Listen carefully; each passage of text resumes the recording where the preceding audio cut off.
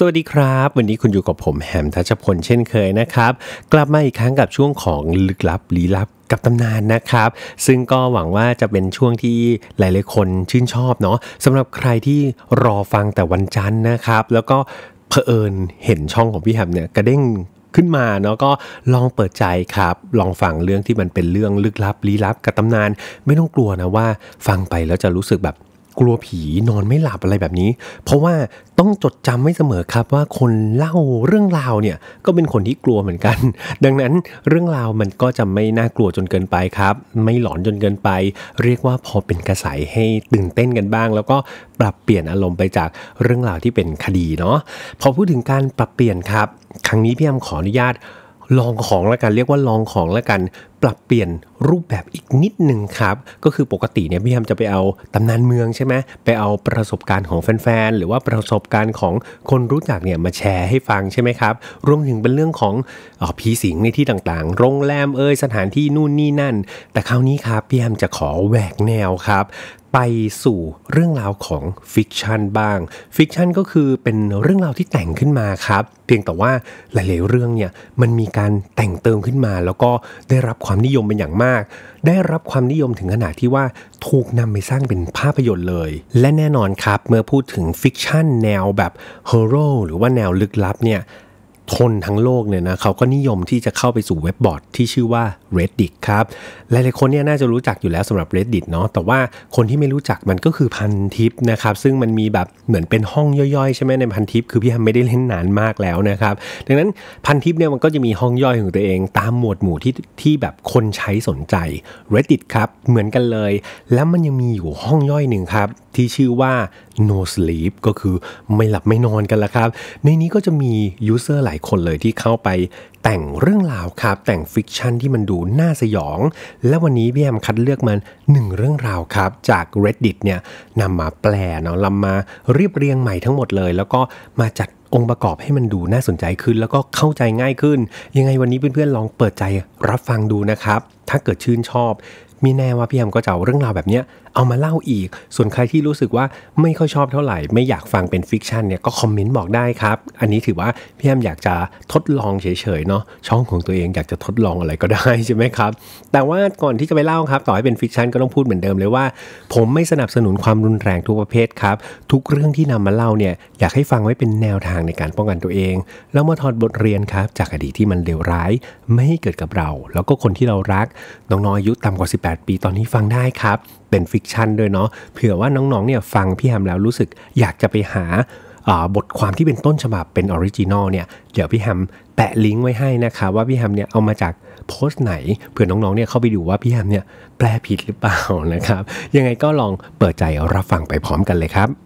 เรื่องราวนี้ครับพี่แอมขออุปโลกนะครับ คนที่เป็นพระเอกละกันเป็นตัวหลัก ตัวละครหลักของเรื่องราวนี้ว่าชื่อทอมแล้วกันเนาะ คือในทุกๆปีเนี่ยทอมมักจะหาเวลาไปเที่ยวแบบแคมปิ้งเสมอ ไปก่อกองไฟแล้วก็อยู่แคมป์เอง ซึ่งเขาเนี่ยก็ชอบชื่นชอบที่จะไปคนเดียวเสมอ เพราะว่ามันทั้งสะดวกครับเป็นอิสระแล้วก็อยากจะทำอะไรก็ทำมาพูดง่ายๆ ทริปนี้จึงเรียกว่าเป็นทริปที่แบบรอคอยครับ ตลอดทั้งปีเนี่ยทอมทำงานเนาะรอนี่แหละ สิ้นปีจะได้ไปออกทริปแคมปิ้งคนเดียว ไปแบบเดียวๆครับ ได้ทำอะไรที่อยากทำทอมนี่จินนั่งจินตนาการนะว่าโหมันต้องมีอากาศที่บริสุทธิ์ได้เก็บผลเบอร์รี่นะครับ แล้วก็กินเลยเนาะแบบเก็บสดๆ จากป่าแล้วก็กินเข้าไปจุใจแบบไม่อั้น เรียกว่าเป็นบุฟเฟ่ผลไม้เลยก็ว่าได้ แล้วก็ยังมีอื่นๆ อีกมากมายเลยที่เขาอยากจะทำในตอนนั้นเนี่ยทอมรู้สึกว่า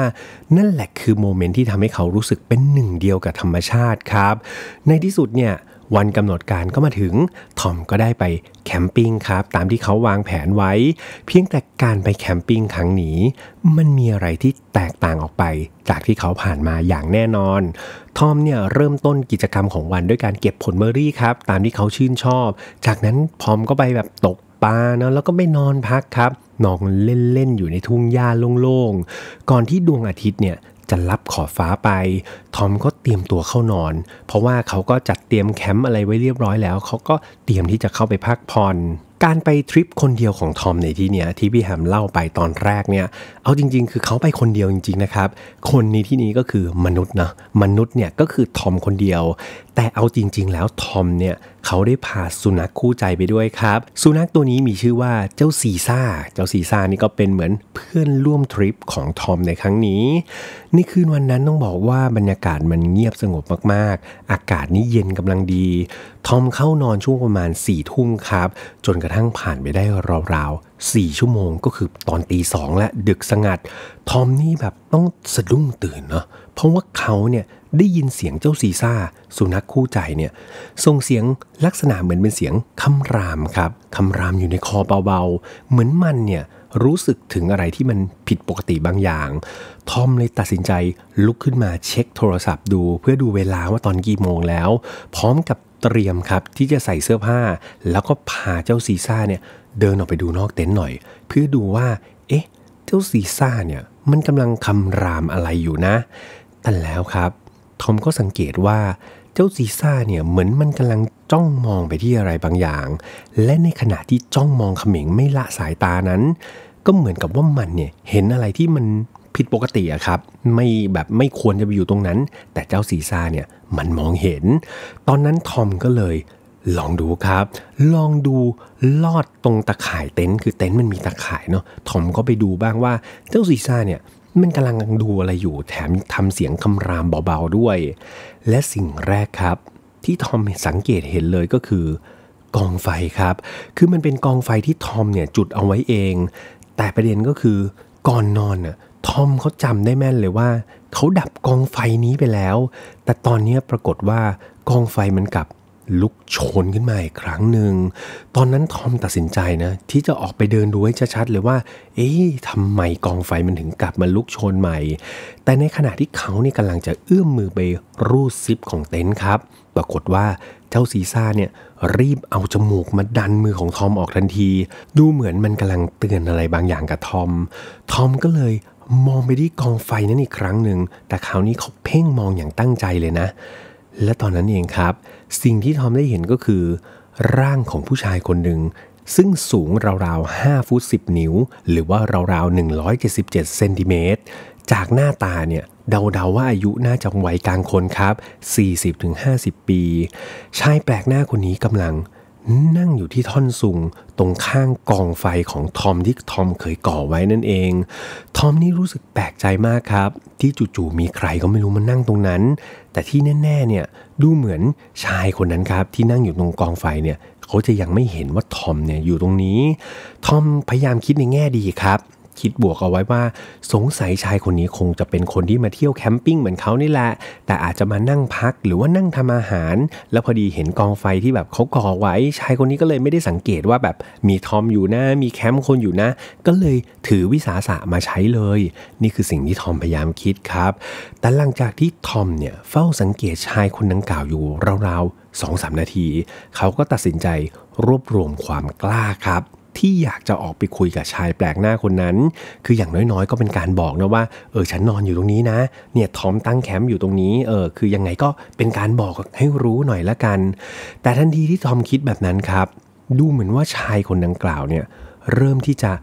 ขยับปากครับ ลักษณะเหมือนเขานี่กำลังกระซิบอะไรบางอย่างเบาๆ ทอมแปลกใจมาก เพราะว่าเขาพยายามกวาดดูแล้วนะ ตรงนั้นเนี่ยนอกจากชายคนนั้นเนี่ยมันไม่มีใครเลยครับ ไม่รู้เหมือนกันว่าชายคนนั้นกระซิบหรือคุยกับใคร หรือสุดท้ายแล้วเขาอาจจะคุยกับตัวเขาเองก็ได้ เมื่อเห็นแบบนั้นทอมก็เลยเริ่มที่จะกลัวครับ เขาก็เลยเปลี่ยนใจเนาะแทนที่จะเปิดเต็นท์เนี่ยเขากลับเข้ามานั่งในเต็นท์แล้วก็กลับมาสังเกตดูชายคนนั้นอย่างใจจดใจจ่ออีกครั้งหนึ่งทอมเริ่มสังเกตครับว่าชายคนนั้นเนี่ย เคลื่อนไหวยังไงนะ ซึ่งลักษณะการเคลื่อนไหวของชายคนนั้นต้องบอกว่ามันดูแตกต่างจากการเคลื่อนไหวของมนุษย์ทั่วไปมาก ๆ อย่างแรกเลยที่เห็นชัดก็คือ ศีรษะของเขาครับ ศีรษะของมนุษย์เนี่ยปกติมันก็อยู่นิ่ง ๆ ใช่ไหมแต่ปรากฏว่าชายคนนี้หัวของเขาจะกระตุกตลอดเวลาครับมันเป็นการกระตุกที่แปลกและดูผิดธรรมชาติมาก ๆ อีกทั้งการกระซิบนั่นน่ะ ก็ไม่รู้กระซิบกับใครเนาะเหมือนกระซิบพูดพร่ำบ่นอยู่ตลอดเวลา นอกจากนี้ก็ยังมีท่าทางแปลกๆที่ทำให้ทอมเนี่ยเริ่มรู้สึกที่จะกังวลแล้วก็กลัวขึ้นมาครับแต่ยังไม่ทันที่ความกลัวหรือความกังวลนั้นจะจางหาย ในขณะที่ทอมเนี่ยกำลังดูชายคนนั้นอยู่ จู่ๆเจ้าซีซ่าก็เลื่อนตัวไปกระแทกกับข้างเต็นท์ครับ สิ่งนี้มันทำให้เกิดเสียงดังกรอบแกรบขึ้นมาเนาะแล้วเพื่อนๆจินตนาการว่าคืนนั้นเนี่ย มันเงียบสงัดมากๆครับ ดังนั้นพอมีเสียงแปลกแปลกออกมาเนี่ยชายคนนั้นนี่หันมามองที่เต็นท์ของทอมทันที และการหันหัวของเขาต้องบอกว่า มันไม่ใช่มนุษย์ครับ มันไม่เหมือนมนุษย์หันหัวที่ค่อย ๆ หันคอมา ไม่นานนะครับ ดูเหมือนว่าชายแปลกหน้าคนนั้นเนี่ยจะรู้แล้วว่ามีคนอยู่แถวนั้น นั่นทำให้เขาเนี่ยหันมามองอย่างเต็นท์ของทอมทันที ที่แปลกก็คือความเร็วครับ ในการหันหน้าของชายคนนั้นเนี่ยมันเร็วมากๆ มันเร็วกว่ามนุษย์ทั่วๆไป และที่แปลกอีกอย่างหนึ่งก็คือ ชายคนนั้นเนี่ยเขาหันมาเนี่ยเขาไม่ได้มองหานะแต่เขาเหมือนหันมา แล้วก็จ้องสบตากับทอมได้ทันทีครับทั้งทั้งที่ก่อนหน้านั้นยังไม่รู้ด้วยซ้ำว่าทอมอยู่ไหน แต่พอรู้ปุ๊บหันมาสบตาได้ทันที สิ่งนี้ทำให้ทอมเนี่ยหวาดกลัวเป็นอย่างมาก เขาไม่รู้จะทำยังไงต่อ ไม่นานนะครับ ชายแปลกหน้าคนนี้ก็เริ่มที่จะยิ้มออกมา และแน่นอนว่ารอยยิ้มของเขาไม่เหมือนมนุษย์ทั่วไป ปากของเขาเนั้นยิ้มกว้างจากหูหนึ่งไปอีกหูหนึ่งครับ เห็นฟันที่ขาวสะอาด ซึ่งขัดกับเนื้อตัวของเขาซึ่งดูสกปรกเลอะเทอะ ชายแปลกหน้าคนนี้ค่อยๆ ขยับตัวเข้ามาหาทอม โดยที่ศีรษะของเขาเนี่ยไม่ขยับเลยแม้แต่น้อยครับ ให้เพื่อนๆจินตนาการเนาะว่า ศีรษะ หรือว่าหน้าเนี่ยใบหน้าของผู้ชายแปลกหน้าคนนั้นเขาจ้องหน้าทอมอยู่แล้ว แต่ตัวเนี่ยยังหันอยู่ทางกองไฟ แต่หลังจากนั้นเนี่ยหัวอยู่ที่เดิมครับ คือหน้ายังจ้องทอมอยู่ แต่ตัวค่อยๆ เคลื่อนมาให้ตรงกับหัว คือตอนนี้ตัวมันเอียงอยู่ใช่ไหมเคลื่อนมาให้ตรงกับหัวครับ และเมื่อตรงกันองศาตรงกัน เขาก็ลุกขึ้นยืนด้วยท่าทางแปลกๆ จากนั้นชายแปลกหน้าก็ค่อยๆ เดินครับ เดินเข้ามาที่เต็นท์ของทอมด้วยท่าทีที่มันผิดปกติผิดธรรมชาติมากๆ ทอมนี่กลัวครับ จนไม่สามารถที่จะขยับตัวได้ เขาได้แต่คิดในใจว่า วิ่ง วิ่งสิทอม แล้วพาซีซ่าไปด้วย นี่คือสิ่งที่ทอมคิดนะครับ แต่เขาเนี่ยเหมือน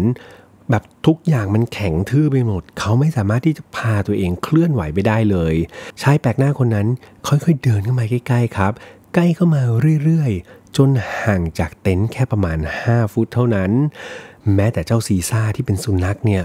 ดูเหมือนมันก็จะกลัวครับ กลัวจนไม่กล้าที่จะเห่าหรือว่าส่งเสียงใด ๆ เลย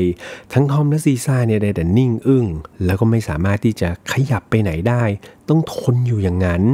และแล้วสายตาของทั้งทอมและซีซ่าครับ ได้แต่จับจ้องไปที่ชายแปลกหน้าคนนั้น ค่อยๆ ใกล้เข้ามาเรื่อยๆ ใกล้เข้ามาเรื่อยๆ และดูเหมือนทอมจะทำได้เพียงอย่างเดียว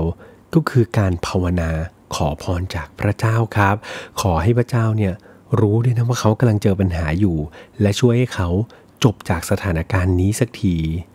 แต่แล้วครับ ในขณะที่ชายแปลกหน้าคนนั้นเนี่ยใกล้ที่จะถึงเต็นท์จู่ๆ เขาก็หัวเราะดังลั่นขึ้นมาเลย ซึ่งเขาหัวเราะนะครับ เหมือนกับเด็กที่เต็มไปด้วยความสุข เหมือนเด็กหญิงที่แบบตื่นขึ้นมาในวันคริสต์มาส แล้วได้รับเป็นของขวัญตุ๊กตาที่เฝ้ารอมานาน หรือเหมือนกับเด็กชายที่ได้เล่นบอลกับคุณพ่อที่ไม่ได้เจอกัน 2 เดือน มันเป็นเสียงหัวเราะของเด็กครับ แต่ว่าเป็นเด็กที่แบบรู้สึกมีความสุข น่ายินดีที่สุดเท่าที่ทอมเคยเกิดมาในชีวิตและเคยได้ยิน เสียงหัวเราะนี้ครับ ก็เป็นสิ่งที่ทำให้ทอมเนี่ยรู้สึก กลัวที่สุดเช่นเดียวกัน เพราะว่าอะไร เพราะชายแปลกหน้าคนนั้นอย่างที่บอก ดูยังไงก็คือเป็นชายวัยกลางคนเนาะ40-50 ปีและอายุอย่างน้อยๆ แต่เสียงหัวเราะของเขา มันคล้ายกับเสียงเด็กเจ็ดขวบเท่านั้นเองครับ ไม่นานนักชายแปลกหน้าคนนี้จากหัวเราะล่าเลยเนาะก็อยู่หัวเราะ ยืนตัวตรง แต่ว่ายังคงสแยะยิ้มนะครับ ด้วยปากที่กว้างมากๆ หลังจากนั้นไม่นานเขาก็ค่อยๆ หันหลัง แล้วเดินจากไปเงียบๆจนกระทั่งพ้นสายตาของทอมและซีซ่าครับ ทั้งทอมและซีซ่าตอนนั้นคือโล่งใจมากๆครับ แต่ว่าตลอดทั้งคืนเนี่ยเรียกว่าทอมเนี่ยไม่ได้นอนเลย เขารอจนกระทั่งฟ้าเนี่ยเริ่มที่จะสว่างครับ แล้วก็รีบที่จะเก็บข้าวของขนทุกอย่างเนี่ยกลับไปที่รถให้เร็วที่สุดเท่าที่เขาจะทำได้ ตอนนั้นเนี่ยทอมคิดว่าเออขอให้สิ่งนี้มันเป็นสิ่งที่เลวร้ายที่สุดในชีวิตเขาละกัน เดี๋ยวยังไงเนี่ย เขารีบกลับบ้านดีกว่า เขาขอออกจากตรงนี้ครับ ขอให้นี่เป็นการหนีพ้นจากเรื่องเลวร้ายในชีวิตของเขาให้ได้สักที แต่ในความเป็นจริง มันไม่ได้เป็นแบบนั้นครับเพื่อนๆ เพราะชายแปลกหน้าคนนั้น ยังคงตามหลอกหลอนทอมอยู่ ที่บ้านของทอมที่มีแค่ตัวเขาและซีซ่ากลับมีใครบางคนที่ชอบมายืนอยู่นอกหน้าต่าง พร้อมกับส่งรอยยิ้มที่บิดเบี้ยว แบบเดียวกับที่ทอมเคยเห็นในคืนนั้นไม่ผิด และนี่ก็คือเรื่องราวของทอมกับคนแปลกหน้านะครับ นี่ก็เป็นเรื่องราวที่พี่แฮมแปลมานะครับ จากโพสต์ที่ชื่อว่า The Man I Saw While I Have Camping นะครับ โดยเจ้าของกระทู้เนี่ยมีชื่อว่า Avid Camper ครับ ก็เป็นไงกันบ้างครับเพื่อนๆ ถือว่าพอหอมปากหอมคอเนาะพี่แฮมลองแปลมาให้ฟังเรื่องหนึ่งครับ ถ้าเกิดเพื่อนๆชื่นชอบเนี่ยก็สามารถที่จะคอมเมนต์กันไว้ได้ ไว้ยังไงพี่แฮมจะ แปลเนาะแล้วก็เรียบเรียงครับ จะพยายามแบบไปหาเรื่องที่แบบยอดนิยมแหละเรื่องเด็ดๆเนี่ยมาเล่าให้เพื่อนๆฟังอีก แต่ถ้าใครรู้สึกว่ารู้สึกไม่ถูกจริตนะครับอยากจะกลับไปฟังแนวเดิมเนี่ยก็แจ้งกันได้เนาะเดี๋ยวยังไงพี่แอมจะพยายามปรับเปลี่ยนรูปแบบของรายการเนี่ยให้ถูกใจเพื่อนๆส่วนใหญ่มากที่สุด เชื่อว่าถูกใจทุกคนมันคงเป็นไปได้ยาก แต่ถูกใจส่วนใหญ่เนี่ยพี่แอมพยายาม เต็มที่อย่างแน่นอนครับสำหรับวันนี้นะครับก็ถือว่าสั้นๆเนาะแต่ว่ามาไม่ให้ขาดหายนะครับ ก็มาหากันเป็นประจำละกันจะได้ ไม่ต้องมีคนบ่นว่าพี่แฮมหายไปไหนทำไมพี่แฮมไม่มาสักทีมาแล้วครับ แต่ว่าจะยาวจะสั้นจะมาบ่อยมาช้ามาเร็วยังไงก็ต้องกราบขออภัยด้วยยังไงพี่แฮมพยายามเต็มที่อย่างแน่นอน เพื่อนๆสามารถส่งกำลังใจพี่แฮมได้ครับ ผ่านทางซูเปอร์แตงส์นะครับหรือว่าถ้าเกิดใครไม่สะดวกเนี่ยก็สามารถที่จะเข้ามารับชม รับฟังครับ แล้วก็กดไลค์กดแชร์ ชวนเพื่อนๆมาสับสกายด้วย แค่นี้พี่แอมก็ดีใจมากๆแล้วครับ ยังไงก็ฝากอยู่ด้วยกันนานๆ และอยู่ด้วยกันตลอดไปจนพี่แฮมเลิกทำนะครับสำหรับวันนี้ดูแลตัวเองดีๆนะครับนอนหลับฝันดีนะสำหรับใครบางคน ส่วนใครที่ฟังตอนทำงานก็ขอให้เป็นวันที่ดีนะครับ แล้วเจอกันใหม่โอกาสหน้าสำหรับวันนี้พี่แอมลาไปก่อน สวัสดีครับ